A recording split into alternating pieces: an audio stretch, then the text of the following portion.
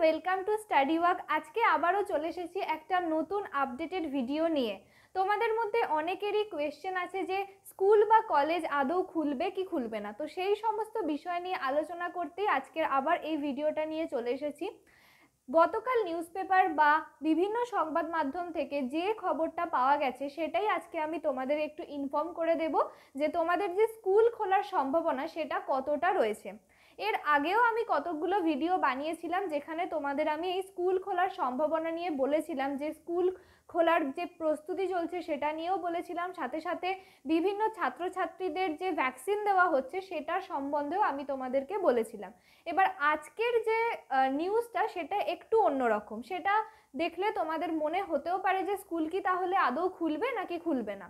তো সবার প্রথমে আর কোনো রকম সময় নষ্ট না করে আমি একদম সরাসরি যে নিউজ পেপারটায় বেরিয়েছিল খবরটা সেটাই চলে যাব এবং কি বলা হয়েছে সেটা তোমাদেরকে জানাব।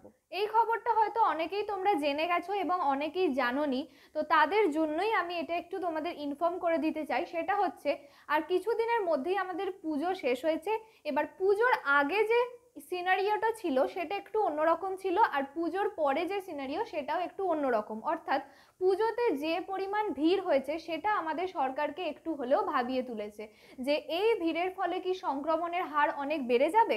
সংক্রমণের যে গ্রাফটা নিচে নেমেছিল সেটা কি ঊর্ধ্বমুখী হবে? তো এই সমস্ত চিন্তাগুলো আস্তে আস্তে বিভিন্ন বিশেষজ্ঞদের মধ্যেও চারা দিয়ে উঠছে যে যদি সংক্রমণ বাড়ে তাহলে এই যে স্কুল বা কলেজ বা বিশ্ববিদ্যালয় খোলার যে প্রক্রিয়া সেটাতে কি এফেক্ট ফেলবে। তো সেটা নিয়েই আমাদের শিক্ষামন্ত্রী কিছু কথা বলেছেন। সেটা কি সেটাও আমরা একবার দেখে নেব। বিভিন্ন সোশ্যাল মিডিয়াতে প্রশ্ন তোলা হয়েছিল যে, এই যে পুজোতে এত ভিড় হচ্ছে, সমস্ত কিছুই হচ্ছে, তাহলে স্কুল কলেজ বিশ্ববিদ্যালয় এগুলোই বা বন্ধ থাকে কেন? এগুলোকেও চালু করে দেওয়া হোক। এই প্রশ্নটা উঠেছে গোটা শহর তথা পুরো রাজ্যের যে করোনা সংক্রমণের গ্রাফ, সেটা যদি ঊর্ধ্বমুখী হয়, সেটা নিয়েও আশঙ্কা রয়েছে বিশেষজ্ঞদের মধ্যে। এবার এই প্রসঙ্গে আমাদের শিক্ষামন্ত্রী তিনি বলেছেন যে স্কুল বা কলেজ খোলার যে প্রক্রিয়া, সেটা তো জারি আছেই। অর্থাৎ স্কুল খোলার জন্য বিভিন্ন স্কুলকে যে রিপেয়ার করার জন্য যে টাকা গ্র্যান্ট করা হয়েছিল, প্রায় অনেকটা টাকা সরকার থেকে গ্র্যান্ট করা হয়েছিল। বিভিন্ন যে স্কুলগুলো এতদিন, অর্থাৎ প্রায় দেড় থেকে দু বছর বন্ধ পড়ে রয়েছে, সেগুলোকে একদম সশরীরে গিয়ে পঠন পাঠন করার উপযোগী করে তোলার জন্য যে টাকা বরাদ্দ করা হয়েছিল, সেটা নিয়ে বিভিন্ন স্কুল অলরেডি তাদের রিপেয়ারের কাজ চালু করে দিয়েছে, কোথাও কমপ্লিটও হয়ে গেছে। অর্থাৎ স্কুল খোলার যে প্রক্রিয়া, এবং সাথে সাথে তোমরা জানবে যে বিভিন্ন যে ছাত্রছাত্রী তাদের যে যে আধার নথিভুক্তকরণ সেটার প্রক্রিয়াও চালু রয়েছে। কিছু স্কুলে সেটা হয়ে গেছে এবং যে সমস্ত স্কুলে হয়নি তাদেরকে পুজোর মধ্যে কমপ্লিট করে ফেলতে বলা হয়েছিল। ধরা যেতে পারে সমস্ত স্কুলের ক্ষেত্রেই এই যে প্রক্রিয়া সেটা হয়ে গেছে। অর্থাৎ পুরো স্কুলগুলো একদম তৈরি আছে। যখনই নির্দেশ পাওয়া যাবে স্কুল খোলার, তখনই স্কুল ওপেন হয়ে যাবে। এবার কলেজের কথায় আসছি। কলেজে তো তোমরা সবাই জানো যে ভ্যাকসিনেশন কমপ্লিট হয়ে গেছে বিভিন্ন বিশ্ববিদ্যালয় এবং কলেজগুলোতে প্রায় সকল ছাত্রছাত্রীদেরই ভ্যাকসিন কমপ্লিট হয়ে গেছে, যারা আঠেরো বছরের ঊর্ধ্বে আছে।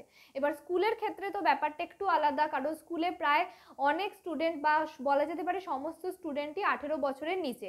যেরকমটা সবাই জানো এখনও আমাদের দেশে আঠেরো বছরের নিচে যে সমস্ত ক্যান্ডিডেটরা রয়েছে, তাদের কিন্তু ভ্যাকসিন প্রক্রিয়া চালু করা হয়নি। সুতরাং স্কুলে যারা পড়ছো তাদের এখনও ভ্যাকসিন হবে না।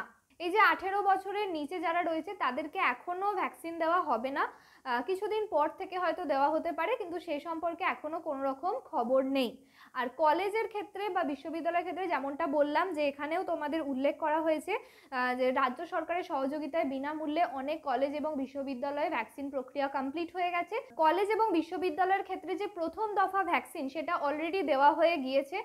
সে সম্পর্কেও জানানো হয়েছে কালকের নিউজে এবং সাথে সাথে এটাও বলা হয়েছে যে কলকাতা বিশ্ববিদ্যালয়ে প্রায় এগারোশো, যাদবপুর বিশ্ববিদ্যালয়ে ছশো আশি আবেদনকারী পড়ুয়া ইতিমধ্যেই টিকা নিয়ে নিয়েছে। প্রায় অনেক স্টুডেন্টই ইতিমধ্যেই তাদের যে প্রথম ডোজ সেটা নিয়ে নিয়েছে এবং তারপরে তাদের যেরকম ডেট আসবে সেই অনুযায়ী তাদের সেকেন্ড ডোজ হবে।